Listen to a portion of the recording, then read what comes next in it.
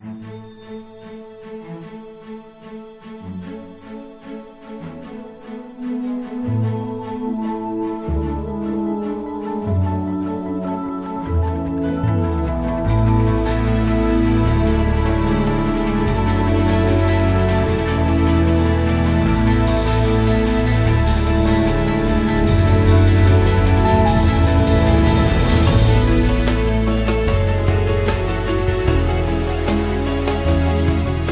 name is David Marr, and I'm the chair of the board of the Chamber of Commerce. I'd like to welcome you all to today's State of the City. Uh, it is al- also my pleasure to present today the, the, the board directors and partners here to this afternoon's program. It's also my pleasure to introduce the MC today, Mr. Joe Michaud. He will serve today as the Master of Ceremonies, so with a round of applause, I'd like to welcome Joe.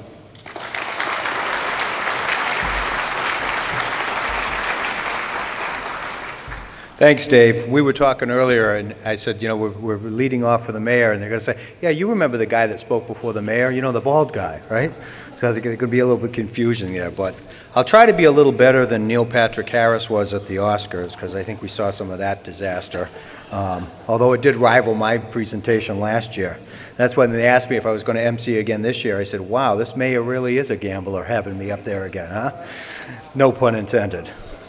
Anyways, good afternoon. It's great to see so many uh, people here today in attendance for the Mayor's State of the City address. It's very important uh, that we listen to what the Mayor's got to tell us about what the State of the City address and what direction he thinks we're going to be heading in. But before we get started with that, I would ask everybody if you could please rise as we salute our nation's flag. Now to sing our national anthem, I would like to introduce Voctech student um, Mayor Dandeno. Mary Dandeno. Please. Okay, Mary Dandeno. You know, Dandeno I should know how to say, right? Thank you. Yep. We'll grab our microphone and we'll be ready to go.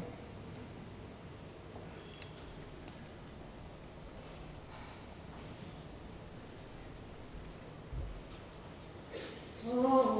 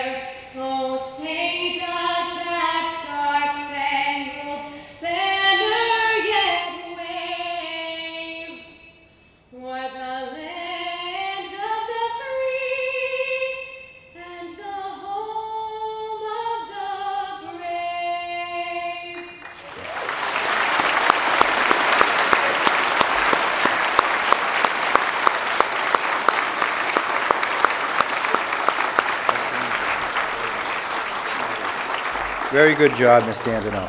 Thank you very much. Before we be seated, I'd also ask if we could remain standing just for a moment uh, of silence for, uh, out of uh, respect and courtesy for those of our soldiers and uh, service members that are currently stationed overseas protecting us today.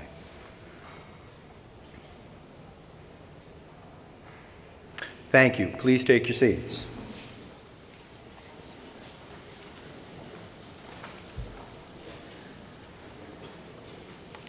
Okay, before we get started, I'd like to point out that we have uh, significant media coverage of this event today. Uh, stations WJFD and WBSM are here and will be broadcasting uh, the mayor's address live.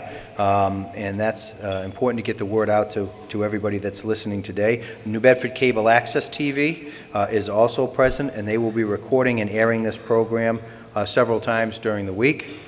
So you'll have an opportunity to, if we, if we don't you know, scare you away today, you can watch it all again to probably tonight.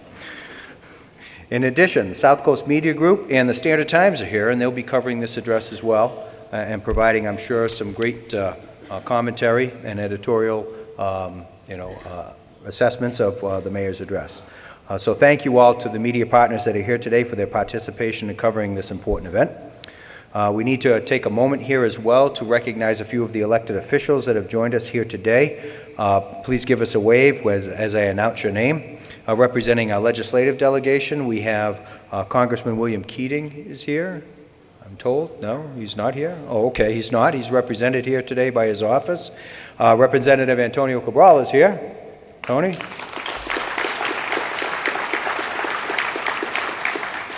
And Representative Robert Koczera is with us as well. From the City Council, we have uh, Joe Lopes, Jim Oliveira, Linda Morad, Kerry Winterson,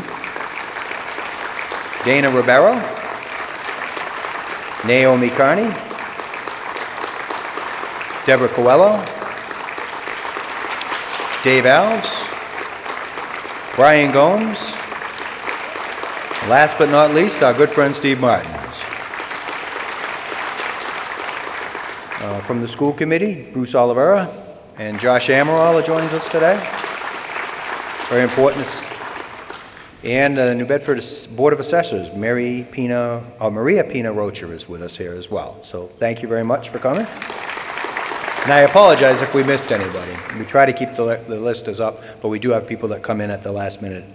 Um, I'd also like to take a time to to thank our primary corporate sponsor for today's State of the City address, and that's Webster Bank.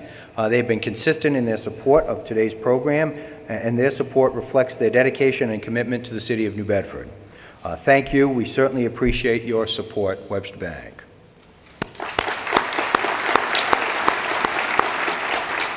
And I would also be remiss if I didn't acknowledge and thank the many supporting sponsors of this event. So special thanks go out to Bay Coast Bank, Bristol County Savings Bank, the Buttonwood Park Zoo, New Bedford Credit Union, Sylvia Group Insurance, and Veolia Water. All of those have contributed to this event today as well. As most of you are probably aware, a major event like this requires the significant support of many professionals to make it a success. So I'd like to recognize a few others for their involvement today. Uh, Thanks go out to Dave LeBeau and Mike Almond of Lightworks Production for providing the sound today. We're here. Greater New Bedford Voc Tech for hosting us this afternoon. I know Linda Enos is here. Thank you, Superintendent Enos. Every time I come here, I'm so impressed by this place and, and the students. It just never ceases to amaze me. They do such an outstanding job here. Uh, the National Honor Society students and the culinary students uh, from the Voc Tech uh, that have also assisted in this event. I think some of them are here in the room as well, so thank you. Peter DeWalt and Reynolds DeWalt Company for printing the invitations and getting all of the other stuff printed up that we needed to put this on, so thank you, Peter. Hawthorne Florists for those beautiful centerpieces that we have and adorning our tables, which are a very nice touch. you know. Century House today for catering today's delicious meal, which was pretty good. I thought the chicken was excellent. Chase Canopy for donating uh, chairs, tables, uh, and decorations um, that we're all sitting in and and enjoying today. So Chase Canopy as well. Going to be, I get to the end of this thing, they want me to read the phone book here or something. Special thanks to the mayor's office for helping to coordinate this event today and, and uh, all of the assistance that they provided as well. Uh, He's a hardworking staff, and we can always count on them to support us in these endeavors. And of course, our keynote speaker, the Honorable Jon Mitchell, the mayor of the city of New Bedford, to taking time out of, of his uh, schedule to update us up on what's going on with the city and what the, what the current state of uh, things are as well. So, Your Honor, thank you for coming. And they never put this in here, but I'm going to say it anyway. Special thanks to the uh, Chamber of Commerce uh, staff. Uh, As most of you know, uh, they're currently leaderless and rudderless, with Roy being gone. Not really, but we have Dave Maher has done a great job stepping in. But they have really done a fantastic job, our people that are working on the staff at the Chamber, uh, in addition to putting this event together, taking care of all of the myriad of other duties that uh, they are uh, responsible for. So if I could get a round of applause for the staff at the Chamber. really do a good job. It is now my pleasure to stop speaking so you can listen to somebody else. But I'd like to introduce uh, the regional president of Webster Bank, uh, Mr. Bob Toomey, who's going to uh, basically give us a a brief assessment of uh, what's happening with Webster and Company. So, Mr. Toomey?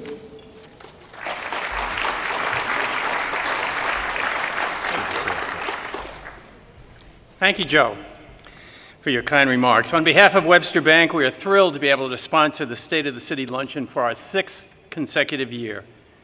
Webster is celebrating its 80th birthday this year. Our CEO, Jim Smith's dad, founded the bank back in 1935 in Little Waterbury, Connecticut, and our headquarters remain there 80 years later. In all those 80 years, we've only had two CEOs. I'm also celebrating my 10th anniversary with Webster Bank this year, and I've been so proud to be associated with this fine institution. I've had banking relationships in this community for almost 40 years. New Bedford and the South Coast region are so important to Webster. Our bankers have been part of the fabric of this community for many years, and several of them are here with us today. Carlos DeCunha, Senior Vice President, Commercial Banking, is a trustee of the UMass Dartmouth Foundation, a commissioner of the New Bedford State Airport, a past president of the Prince Henry Society, a member of the New Bedford CEO Group. He's been with Webster since 2009 and has been a leader in the greater New Bedford banking community since the late 80s. Jeff Paliuka, Senior Vice President, Business Banking, is a member of the Chamber's Board of Directors and Vice Chair of Membership. Jeff's been with Webster since 2010 and has been serving this community for 16 years. Linda DeMarco, Senior Vice President and Market Manager for our community bank, is on the Board of Junior Achievement of Southern Mass and the Fall River and New Bedford Samaritans. Linda's been with Webster for 27 years, serving the greater New Bedford and South Coast region. Don Tropoli, Senior Vice President, five years with Webster. He runs business banking for all of Rhode Island and Southeastern Mass. Don is active with the Fall River Chamber and the Narrows Center for the Arts in Fall River. All of the Webster people here today and those working at our local banking centers are deeply devoted to serving the needs of this community.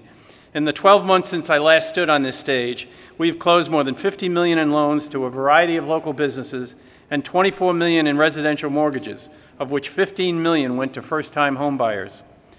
We've also held more than a half dozen seminars for first-time homebuyers in this market, including one with the City of New Bedford Housing and Development that attracted more than 50 attendees. And we rolled out a very successful series of free workshops for senior citizens on how to detect and prevent elder financial abuse. We offer these seminars to senior centers and other organizations that serve our elder population. Linda DeMarco leads this effort for us in the South Coast. And in fact, she taught one this morning at Oaks Nursing Home and Rehabilitation Center to an audience of almost 40 people.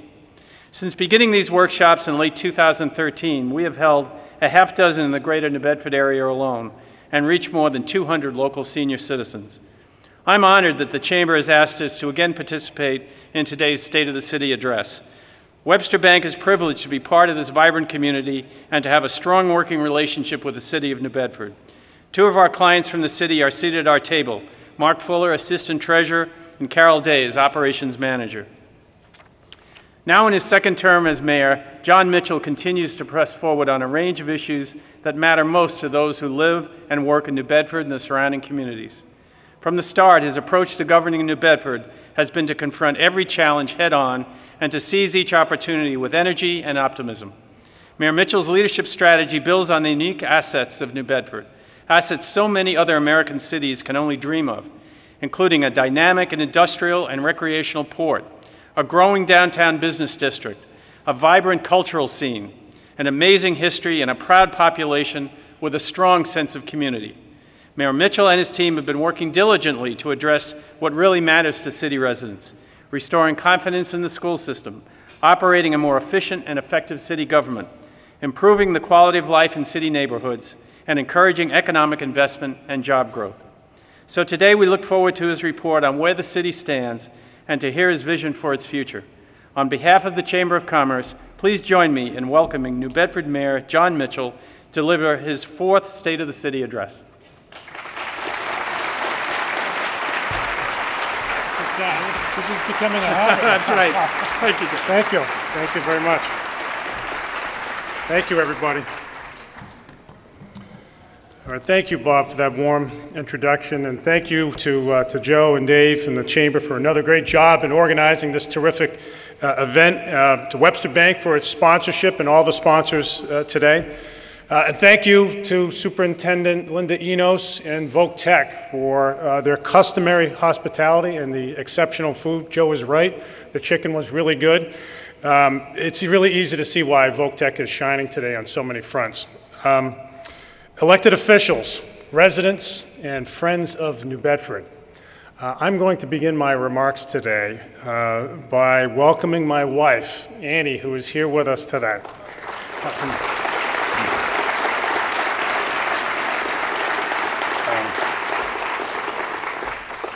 She didn't know I was going to do this. Um, I'm the second busiest person in my house, and it's been uh, a while since uh, she and I had lunch together. So uh, we relish this opportunity for a little time together, and- and it's even better that we have 500 of our friends join us. uh, In a year uh, that we will remember most for snowdrifts, uh, the residents of our city have hung together, strived on, believed in better, and worked for it. I'm here today to report that the collective effort of our residents and city employees has produced real and unqualified successes. Let's take stock of it for a moment. We have experienced robust, across-the-board economic growth in this city. Our major businesses, especially our manufacturers, have generated a rising tide of job creation. Joseph Abboud, for instance, alone has added over 200 jobs in the last year. But it's also been the new businesses like the Black Whale and DMB Burger and the, and the new business incubators in and around the downtown that mark a surge in entrepreneurial activity that is expanding our economy from the ground up. The growth has been less, dra- less dramatic than if it had resulted from one major project. Home runs are great, but singles and doubles add up too. And they've really added up. One of the more accurate measures, uh, reliable measures of municipal growth, the number of building permits issued, is up 40% since 2011. But it's really about the jobs. Since 2011, according to the Massachusetts Department of Labor, the labor force in New Bedford has grown enormously, adding over 5,000 jobs. That is a staggering number for a city of 100,000, regardless of its history, and especially an older industrial city. The growth in employment has been so rapid that last July, the Wall Street Journal reported that of all U.S. cities, New Bedford experienced the sharpest drop in unemployment over the previous year. We are in the midst, in the midst of a job expansion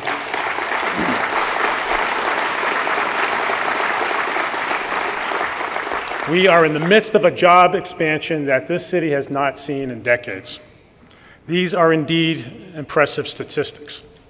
But what's far more important is that it has meant more people taking home paychecks to support their families. Uh, and that's not the only progress that we've seen in the city in the last year. Uh, we are steadily chipping away at crime.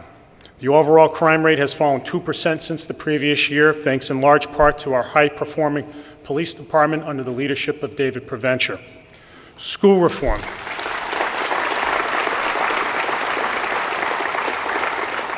School reform is moving forward on all fronts. And a school system which three years ago was on the brink of state takeover, uh, I I am pleased to report now that thanks to to the efforts of Pia Durkin and our hardworking teachers, the four-year graduation rate is at its highest level in the last 15 years.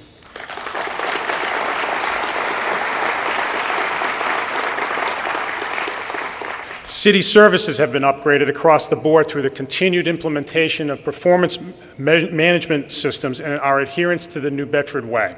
The statement of our city government's commitment to high-quality services that I announced last year right here. The most conspicuous of these improvements in the last year were the overhaul of New Bedford's trash collection system, which has resulted in the dramatic doubling of the city's recycling rate and a reduction of trash on our streets, as well as the replacement of our old streetlights with energy-saving LED bulbs, both measures that will save New Bedford taxpayers tens of millions of dollars over the next 20 years.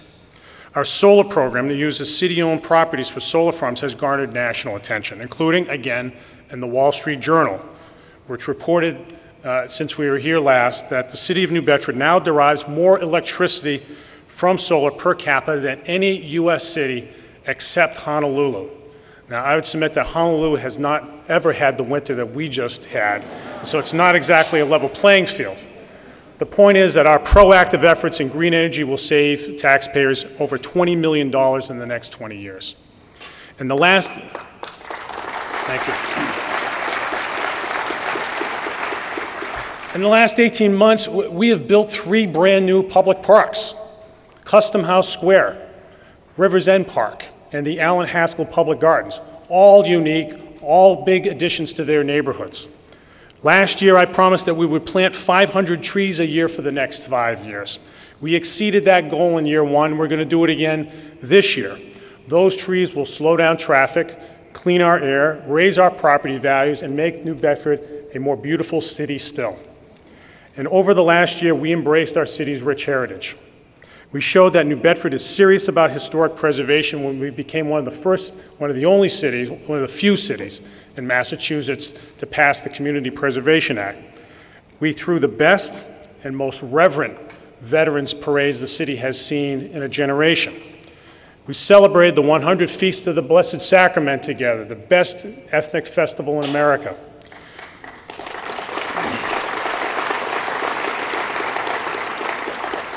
And when the Charles W. Morgan made her homecoming to our shores last summer, drawing the largest crowd of tourists to downtown in decades, New Bedford put on a welcoming party that made our residents swell with pride for our glorious past and showed America that New Bedford is back on its way up. These and too many other successes to list are all very real results. They are real wins, and they didn't happen by luck.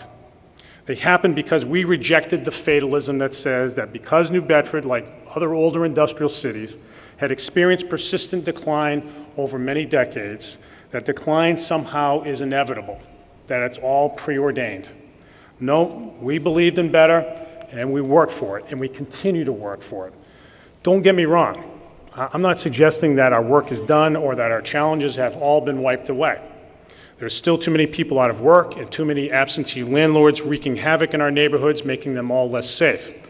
We still have a ways to go in our schools, and our finances are as tight as ever. But in the last three years, we've proven that we have the right approach. Our way is not to sit back. Uh, it is not to passively hope for the best. We haven't waited for others to do something for us. We have initiated the action. We have stood up for ourselves, and we have chosen to be the authors of our own story.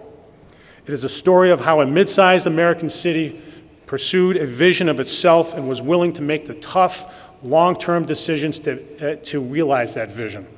It is a vision of a city that is the commercial and cultural hub of southeastern Massachusetts, a city that is taken seriously beyond the region, a city with a diverse economy that creates high-paying jobs for its residents to build homes and send their kids to college, a city whose schools are a primary reason why families move into the city, a city with a highly professional, caring, and efficient city government that commands the confidence of taxpayers, and a city in which personal safety is only an afterthought, and where all city residents take responsibility for their neighbors and their neighborhoods. From our economic development efforts to our to school reform to stewardship of our neighborhoods to the management of our city finances, we are making the long, the long-term hard decisions so that we can write our story on our own terms. In the area of economic development, my administration is focused on creating the conditions for sustainable job growth. More good jobs means more residents purchasing homes, more kids going to college, more money being spent in local businesses, and a more confident community. The success we have had in creating the right conditions for job growth in the short term, in the current last few years, is encouraging. But sustaining growth in the long term, which we must do, requires careful, careful planning, a vision, and unity among community leadership. That is why in my State of the City speech here last year, I called for the formation of a committee of business and nonprofit leaders to answer more or less the following question. What will it take to regenerate Greater New Bedford's economy sustainably in the long run. The city needed a definitive economic development strategy, and who better to formulate that strategy than the region's business leadership, and many of you are here today. I wish now to thank the committee members and its chairman, Jerry Kavanaugh, for their months of hard and thoughtful work, along with Derek Santos and the team at the, at the Economic Development Council, that produced a plan which will guide our economic development efforts in the years ahead. When state or federal officials or outside investors ask, does New Bedford have a plan? We can all answer, yes, we do, and a very good one at that.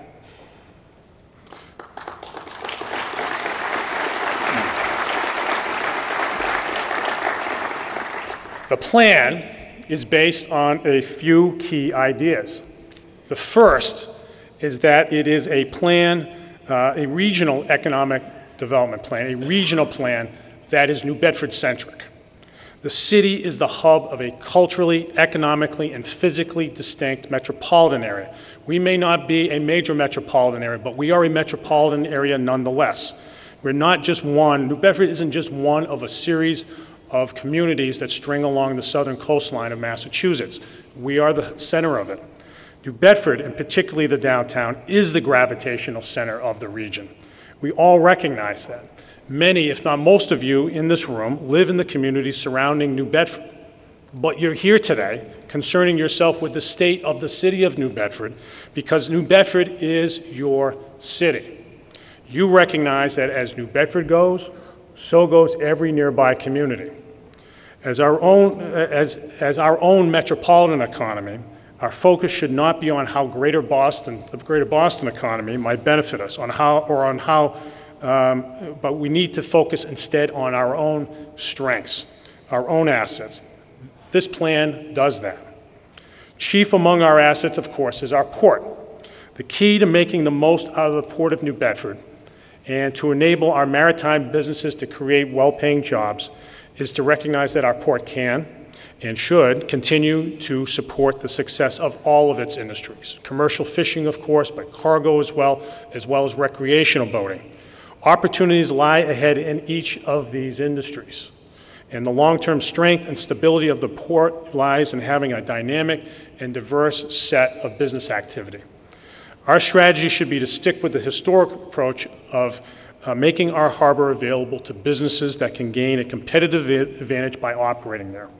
Rather than favoring one industry to the exclusion of others, our choice should be all of the above. I am pleased to report uh, another successful year in the Port of New Bedford. We, of course, remain the preeminent commercial fishing port in America, and although the total catch in the Northeast continues to shrink, our slice of the pie is growing. According to the most recent NOAA data, New Bedford's landings now comprise 34% of all of New England's and 9% of the entire country. Uh, we are, to use the metaphor, the biggest fish in the sea. I will continue my fight to level the regulatory playing field uh, for the industry, not just at the Fisheries Council meetings, which we've been to time and again, but also on Capitol Hill, where this year Congress will take up reauthorization of the Magnuson-Stevens Act, the, the legislation that governs commercial fishing throughout the United States. At the same time, we've worked closely with Maritime International, our harbor stevedoring company, around the expansion of cargo in our harbor. And this year has been a real success story. This season, we had a record number of freighters call on the port and have doubled the amount of tonnage uh, that has come in. Every one of the port calls, those, every one of those large freighters that we've seen in the harbor injects uh, about a quarter of a million dollars into the local economy. And those, that creates job opportunities for our longshoremen. Uh, they've seen more business than they have in recent memory. It also bears noting that the recreational boating sector which draws millions of dollars into the port, and we're not known for this, but we, it is a big business in our harbor, is growing too. Last year, we started a launch service uh, on uh, the HDC, the Harbor Development Commission started a launch service to bring boaters who are moored in the harbor into uh, the central waterfront so that uh, people could leave and walk into the downtown and spend money in our shops and restaurants. Um, in its first year, the, the launch carried over 1,300 uh, 1,300 riders, and mooring rentals in our harbor uh, nearly tripled. People are coming down to the harbor also, as we all know, in droves to hear the concerts, to go to the festivals. They want to connect with the water. The completion of the New Bedford Marine Commerce Terminal in the months ahead will offer more opportunities for cargo vessels and other maritime jobs. With the expansion of the Panama Canal in the coming years and the establishment of large cargo hubs on the East Coast, there will be opportunities for ports of our size to serve as redistribution spokes for those hubs. The new terminal sets us up very well for that business and gives us yet another opportunity to create jobs in the port. The terminal will also help us become the premier offshore wind port in the Northeast. Windmills may not appear in our harbor as quickly as we would have liked, but the opportunity to become the center of the offshore wind industry in the United States remains well within our reach, and we must be ready for it. Consider this. Off the coast of northern Europe, there are now some 65 utility-scale wind farms that are lighting homes from Germany to Great Britain. With some of the best winds on the planet just south of Martha's Vineyard, not too far from here, and with a growing demand for electricity in the Northeast, it's just a matter of time before those European developers come to the United States and come to this part of the United States. We might not see Cape Wind, but just around the corner is, deep, is the Deepwater Wind Project off of Block Island. Major European players in the industry are also staking their claim to the federal waters off of Martha's Vineyard right now. They are coming, and they will find a very reliable partner in the city of New Bedford. The next important step in uh, our quest to become a center for the offshore wind industry is about to come up, and that is for the legislature to pass a bill that provides reasonable market incentives for the industry. These incentives, if coupled with an expansion of the natural gas supply to the state, will help diversify our energy resources and stabilize prices without, at the same time, unduly burdening ratepayers. The city, along with Representative Tony Cabral and our legislative delegation, are supporting the legislation proposed by Representative Pat Haddad that would do just that. I urge the business community, many, so many of the business leaders in the region are here today, to get behind this bill if we are to have a more stable energy policy in the state that enables the offshore wind industry to set up shop right here in New Bedford and to grow jobs throughout the region. To capture all the opportunities that lie ahead, the Port of New Bedford must continue down the road of modernization. We will continue to advocate vigorously for capital investment in the port. To be competitive, we need to upgrade our port facilities, dredge the harbor, and replace that old bridge so that we can open it up, open up the northern part of the harbor to more commerce and more job creation. As our growth continues, we must hold ourselves out as the serious port that we are. This is very important. As it stands now, there are only two general purpose industrial ports in Massachusetts, Boston and New Bedford. That's it. Uh, major American ports generally are governed by port authorities, governmental bodies that promote the development of maritime industries whose powers vary from place to place. It's time that we raise the profile of our port and begin referring to our harbor management organization in the same way as other ports do. So I will ask our legislative delegation to amend the enabling, the enabling act of the Harbor Development Commission to create and define as the management authority the New Bedford Port Authority. That will be the name of our governing body. A name change alone will go far uh, to reflect appropriately just how far the port has come and the promise that it holds for tomorrow. The downtown, of course, is another great economic asset here in the city. It is the urban core of the region, the center of our economy and cultural life, the first place we take friends visiting from other places, and the primary place of common experience in our region. Downtown is the label on the New Bedford product. We continue to invest in the downtown because we know that there's no successful city in America, none, that lacks a vibrant downtown. It just doesn't work that way. The center has to hold up all the rest of it. It is why we continue in the downtown to plant trees, improve the landscaping, and put up signs like the Pier 3 sign and the Port of New Bedford sign that celebrate our heritage is why we put down more cobblestones and bricks and organize summer concerts on the water and promote public art. And it is why, when building public spaces like Custom House Square or refurbishing the Zeiterion, we set and, and expect high design standards. To attract investment, the place has to look good and feel great. And the residents of the city, and this is the most important point, deserve no less. It's all, the downtown belongs to everybody in the city, whether you live in the north end or the south end or the west end. It's yours. I want families to be able to walk to the downtown and take in a show at the Z and dine at one of our restaurants and spend a moment in a great public space that makes them proud to be residents of the city of New Bedford.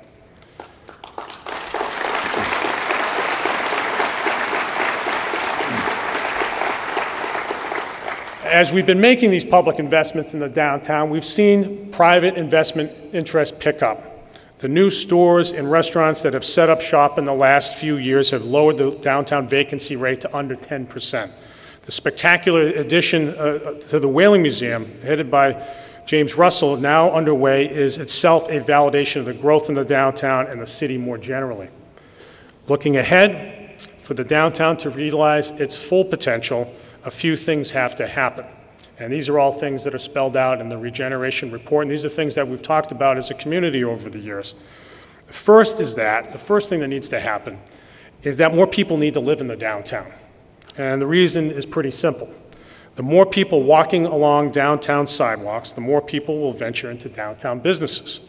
For businesses to thrive in a dense urban environment where strip mall style parking isn't available, pedestrian circulation must be robust. And that is why we're working with developers to look for opportunities to build residential development in the downtown so we have a real urban neighborhood. Second, the downtown must become unlandlocked. Yes, I just invented that word, unlandlocked. We've got a great downtown and a great harbor, and although we have taken significant steps to knit the two together, they're not fully connected right now. A downtown that extends to the State Pier, as called for in the Regeneration Committee report, will make our downtown really something special. Being an industrial port doesn't mean that the public must be cut off completely from the waterfront, uh, as is the case right now, more or less. Virtually every major industrial port in this country finds ways to connect people to the water. Just think about Baltimore and the Inner Harbor, a big industrial port that has, that has great places along the water for people. Um, This is hardly a radical uh, idea, and I think we can do the same thing here without imposing on, our, on, on the commercial fishing industry or any of our other maritime industries. Third, and this may be the most important thing, in the years ahead, expansion of higher education in the city, and particularly in the downtown, is a must. Universities are driving the American economy right now. They are the sources of research that spur innovation, they are the economic hubs in their communities, and they attract educated professionals. The success of cities like Boston and other major uh, metros that are growing like gangbusters these days can be explained in part by the role universities and other research institutions play in their regional economies. And it's not just big cities. Take Worcester or Portland or New London, all mid-sized New England cities that are enjoying growth around their universities.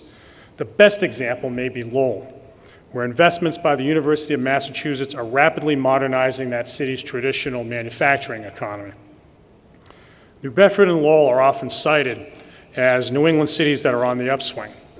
Uh, But the part of the story that must be told is that while the UMass system has made a whopping $600 million in new capital investment in Lowell since 2009, during that same period, the university system, the UMass system, has not spent a dollar in capital investments in the city of New Bedford.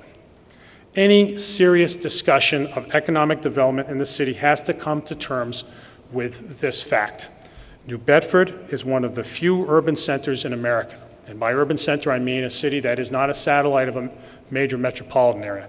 One of the few urban centers in America without a university headquartered in the city limits. In order for us to compete effectively in the global economy and retain education, educated professionals in the city, this has to change. I'm not suggesting for a minute that we import a, new, a university from somewhere and plunk it right down in the city of New Bedford. That's not what I'm talking about. The place, obviously, to turn is UMass, which has programs, though not large ones, already here. We need UMass to be a partner in the city's resurgence and grow its physical presence here for the good of the city and, frankly, the good of the university. There have been encouraging signs of late, however. Chancellor Divina Grossman has worked with the city to kickstart the long-stalled SMAST expansion in the South End, and now that project has traction. UMass Dartmouth is now actively looking for opportunities in the downtown as well. And the university is supporting some of the new technology incubators that are setting up in and around the downtown right now. This is just a start.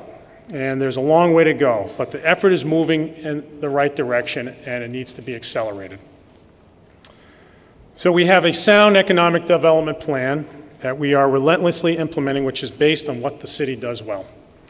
So, one might ask, why roll the dice on a casino? Are we going all in on a business without a track record in Massachusetts when we should be doubling down on our maritime uh, and manufacturing sectors? Or by pursuing a casino, are we wisely hedging our bets on these industries? After all, this is all a high stakes decision. Come on. all right, all right. All right, I'm going to quit my day job. so, you have heard me say that for the last couple of years that I would be willing to enter into a, an agreement with a casino developer only if it were a good deal for New Bedford. Whereas in other communities, municipal leaders have said more or less, just tell me where to sign. I believe that any deal would have to be done on our terms. The deal we fought for and struck with KG Urban is a good deal for New Bedford. It is on New Bedford's terms. The direct benefits are hard to deny. The project will create over 2,000 permanent jobs, that conservative estimates are. That would make it twice as large as the Acushnet Company, the current largest for-profit employer in the region. The direct annual payments to the city would enable us to stabilize our finances and reinvest in the city. The project would clean up a massive brownfield site that will otherwise remain as is for the foreseeable future, perhaps for decades. It would spend, and the project would spend year in and year out considerably on New Bedford businesses. Now, some might point out that other casino projects have made similar claims, and we all know that casino developers, developers have often failed to deliver on their vaunted promises up front. So why is this different? I shared the concerns voiced by many that a casino might diminish the appeal of the downtown, the availability of waterfront industrial land, and tarnish the city's image. So I fought for terms that directly address these issues. The agreement, the host community agreement, limits the number of shops and restaurants and hotel rooms, so casino patrons are going to be forced into the downtown to spend money. They'll have no choice. Uh, they're not going to want to wait for two hours to get a seat at, at a restaurant at a casino, um, at the casino site. We insisted on a conference center, uh, and, we, and we were able to secure one in the agreement that will hold some 2,000 people, not all of whom, at any given event, are, are going to be gambling. Uh, these are people, there will be people in every, in every group who will gamble and others who will want to see things like the Whaling Museum and the Zeiterion and go to our, uh, our shops and restaurants and other cultural attractions. It brings more density to the downtown. Uh, we've protected the Zeiterion. We've created a voucher program to encourage tourist spending uh, in, the, in the downtown and throughout the city that the casino will have to, have to issue. And we've required the operator to procure a minimum of $10 million a year from, uh, of goods and services from New Bedford businesses. That will create a multiplier effect uh, throughout our economy. We made sure the harbor bulkhead is put to good use. This wasn't something that casinos would be generally interested in, but I am. Um, and so what we did was we created new space for commercial fishing vessels. We've seen what our docks look like. They're stacked three and four deep of fishing vessels. We need room. We made sure we created some room on this site. Uh, and to the extent that it couldn't be used for commercial fishing vessels, we created a marina, and that marina is going to generate income for our Harbor Development Commission, which sorely needs it. Perhaps as importantly, the site will not scream casino. I insisted on a number of limitations on the project that will make it fit into the urban fabric of New Bedford. We required the developer to scale down the buildings. They came in initially at 24 stories and dropped it to 17, and I insisted they go further, and they went down to 11 stories, which would hardly be the tallest building in the city, not even close. It won't stick out like a sore thumb. The buildings will reflect, uh, and, we're, and we're, not, uh, we're not putting signs, they're not putting signs on the tops of these buildings. There's a, sign, there's a height restriction on signs, so the first thing you see when you're, down, when you're driving downtown or standing nearby is not casino or the name of the operator or some logo. It's brick, you're going to see brick buildings. The buildings will also reflect the same design elements of the downtown and with brick facades and pedestrian lighting and other uh, historic elements. We have also forbidden casino billboards in the city. We don't want our city to look like a casino town, and because of the protections that I insisted on in the host community agreement, it won't. Having fought for and secured an agreement on New Bedford's terms, my job now is to support KG Urban's effort to secure a license from the Massachusetts Gaming Commission. If KG is successful, my job will be to help this development fit into our community's future. What's important for us to think about, even now, with still a long way to go, well before any license is issued, is that uh, while this project represents a unique opportunity for the city, we should not regard the project as the goose that laid the golden egg. We have been disciplined in how we spend the, the public's money. That's why we've been able to do more with less in recent years and achieve the, the highest bond rating in the city's history. The annual payments from the casino should not be viewed as an opportunity to loosen up the purse strings and to start spending like drunken sailors. This money needs to be reinvested wisely to further our existing economic development agenda and stabilize the city's long-term finances. The priorities are all spelled out explicitly. These priorities are all spelled out in the host community agreement because we insisted on it. It has to, that has to, we have to set now a set of expectations around how money would be spent by this casino if we're lucky enough to get that license. In this vein, the casino should not be seen as an end in itself, but as another uh, means to create opportunities for our residents. That is what this city, this very American city, has always been about. We are a place where the American dream has been realized over and over again. This is a city where people have made the most of the chances they've been given. My grandfather came to this country, to this city, with a third grade education.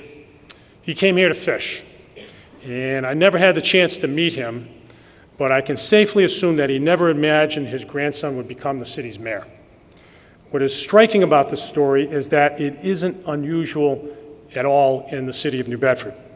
Despite all the reasons that others have come to doubt New Bedford, it has remained a place where people have come to find work, whether it be on the water or in a factory or somewhere else, in the hope of giving themselves and their children a chance to reach and maybe even exceed their dreams. What gets me out of bed in the morning is the knowledge that it is possible through the work of the administration I lead to help open up opportunities for our residents. Everyone should get a chance. It is this ideal that motivates me to expand opportunities through economic development work. It is why I have encouraged local hiring throughout my tenure and fought for the strongest possible local hiring requirements in the host community agreement uh, with KG Urban. And that is why today, I am proud to announce a set of principles for public and private investment in the city called New Bedford Works. These principles will be rolled out in the weeks ahead, but the basic idea is a set of mutual commitments by the city and anyone wishing to invest here concerning the hiring of city residents and contracting with city businesses. The expectation is simple and reasonable. If you are doing business in New Bedford, you should give our people and our businesses a chance to compete. That's not too much to ask. And at a time when major investments like the casino, the harbor cleanup, and other projects uh, are, could, that are or could be coming uh, online, we need to establish an understanding of what obligations are owed in this community. I wish to thank the entire team that is working hard to finalize this policy, including Matt Morrissey, Buddy Andrade, Gus Santos, George Hempy, and many others. We can't make employers hire local residents and contract with local businesses. We can't force them to do that. But we can certainly expect them to understand that our residents and businesses are ready to pounce on opportunities when they are granted them. Our work to expand opportunity extends to our children, of course, our school children. At this point, we need no reminding that our schools had been in a state of decline for several years and had reached the brink of state takeover when I entered office. At the time, many suggested that we simply let the state take over and wash our hands of the problem. We chose the hard work of leading our own reform, knowing that it came with the risk of responsibility. We would own it. That was the right decision then, as the work is now moving ahead in earnest and the results are starting to show.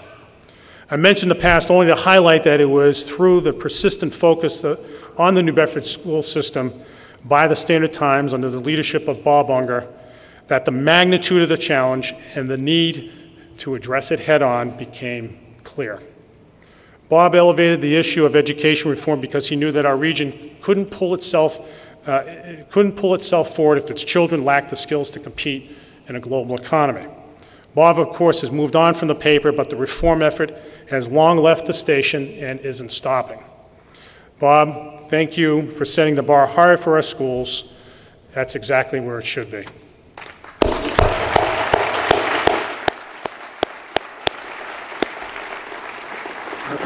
So reform is proceeding under the tireless leadership of Dr. Pia Durkin, and there is nothing easy about that work.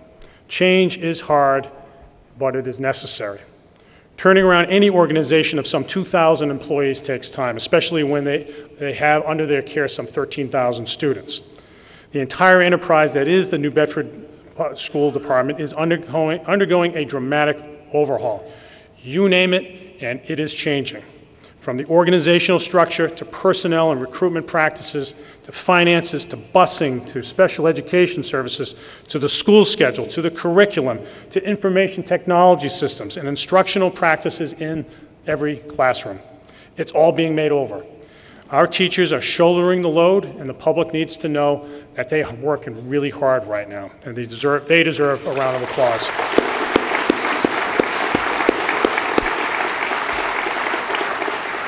Now, some of this effort, some of this effort is already showing up on the scoreboards we tend to focus on. MCAS scores are inching forward. Uh, many more students, a record number of students in New Bedford High School are taking advanced placement courses. A number of them are seated right over uh, along that curtain right over there. Uh, and as I noted, the dropout rate, uh, and this is very significant, uh, has dropped significantly, and that's a huge achievement by our school system. No one um, no, and the pro, all this progress will become more evident as time goes on. But no one should be under the illusion that this is all an overnight exercise.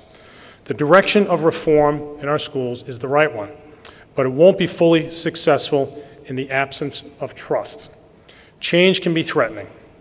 People become defensive when threatened, they stop listening, they turn inward, and make effective teamwork less achievable. As we move forward, let us all remind ourselves, all of us, elected officials, business leaders, school administrators, teachers, parents, and members of the community, and anybody who cares about New Bedford, that we all have the same goal to build a school system that provides our children with the tools they need to flourish as adults. We might not agree on precisely the same next step all the time, but we need to communicate and listen to one another. We'll be surprised at how much more we can get accomplished together. We've moved mountains in our school system already. Let's finish what we've started for our kids.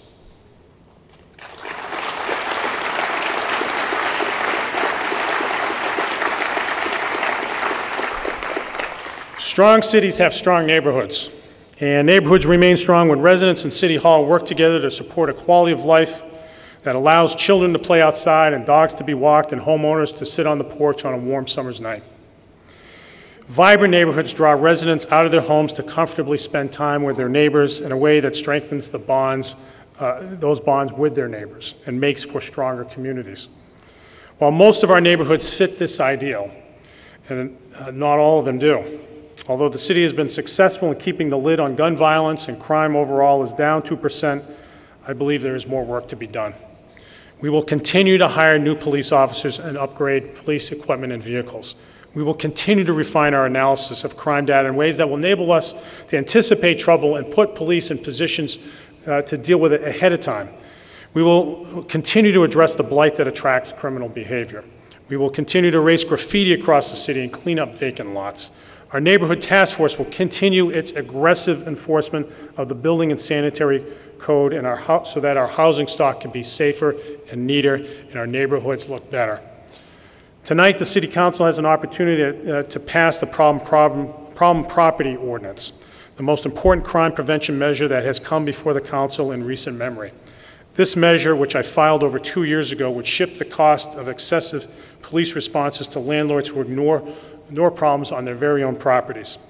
We have some properties in this city in recent years, and far too many of them, where the police have been summoned more than 100 times, over 100 times within a year.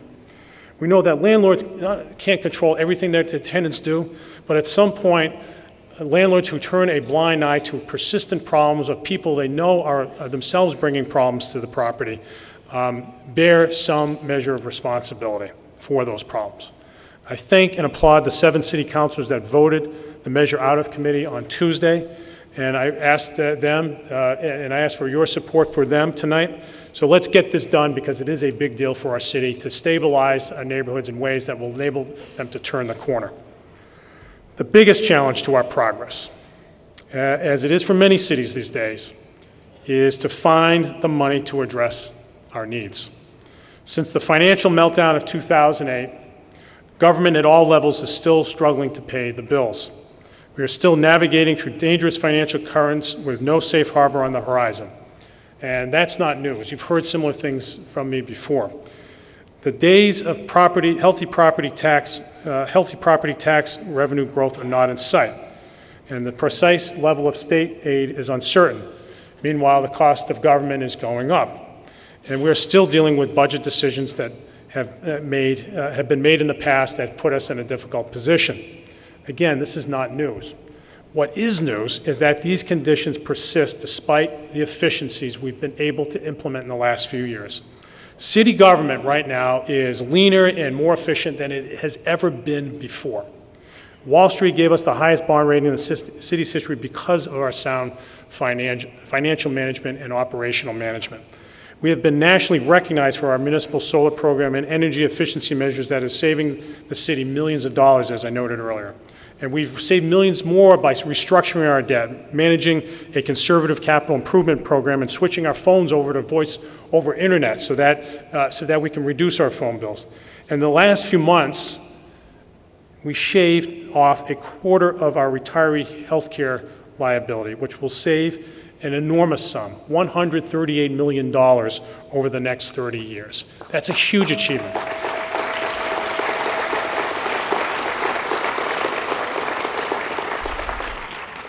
Uh, they have produced, all of these things have produced enormous savings, yet we're still looking at structural challenges in our budget. And so we will continue down the path of more transparency, more efficiency. We may have picked the low-hanging fruit. We're going to pick the higher fruit to make our city government more efficient. Uh, but we still have to face up to the fact that the costs attributable to retiree benefits whose terms and eligibility are dictated by the state are continuing to become a tighter and tighter vice. Another big chunk is the decline, uh, chunk of the problem is the decline in state charter school reimbursements. Again, these are state decisions that are putting the pressure on municipalities, including us. We are going also, we're also going to be faced on how to pick up the salaries of many of our firefighters coming off the federal SAFER grant when it expires later this year. We have applied for a new grant to fund a lower number of positions in the hope of avoiding layoffs in that department, and we're working very closely with the fire department a very effective fire department that keeps us safe to accomplish just that. What all of this means for the city is that we're going to have to trim back this year. Uh, I've instructed department heads that we need, uh, we need to find savings and we need to, to expect that we're not going to be level funded this year. We're going to be funded at lower levels. And so we can expect re spending reductions and none of that will be easy. But these are the tough decisions that are necessary to maintain the steady course that we're on. Until we see more growth in property values, we must maintain a disciplined approach to financial management, and that's exactly what we plan to do. Writing the story of our city's future, of the future to which we aspire, in the face of these financial challenges is a, is a tall order. It's hard, but nothing in life that is worthwhile is easy. We take on these challenges to make our community a better place because if that isn't a cause worthy of our devotion, what is? This is our home. Uh, this is the home of our family. This is the home of our friends. Our community is a big part of us. Writing our own story means that we get the opportunity to divine, define ourselves not by our challenges, but how we respond to them. For all that who profess a love for our city, we need to ask ourselves what role we can play in that story. How can we contribute to the long-term success of our community? The answers are all around us. It's people like David Lima, who has stepped forward to lead a community dialogue on teen suicide and, thank God, has given teenagers in dire need in this city the confidence to talk about their problems.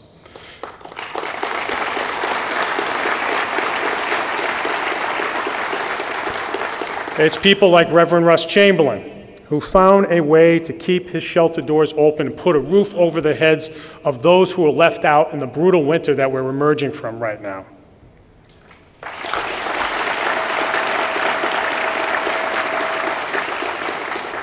Uh, It's the city plow tri- drivers who s- strain to stay awake uh, over days of pushing snow out of the way so that public safety vehicles and residents could get up and down our streets safely. Uh,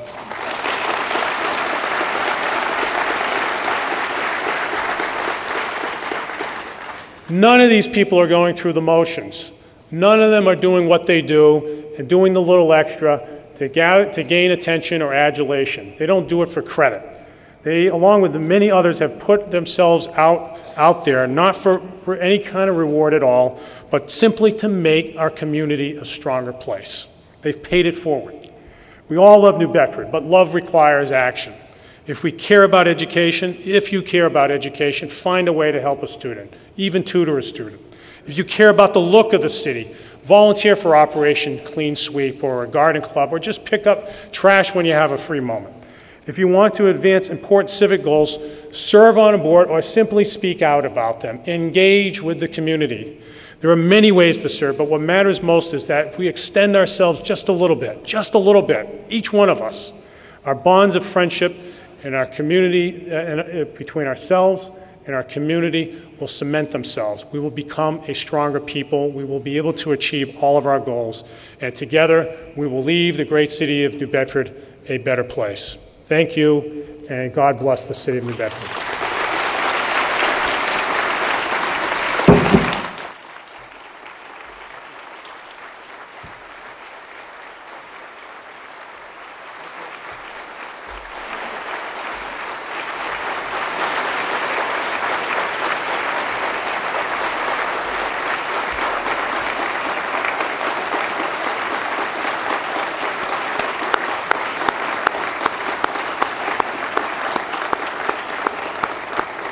Thank you, Mr. Mayor. It was very good, and we enjoyed listening to you. Thank you all for coming on behalf of the Board of Directors of the Chamber.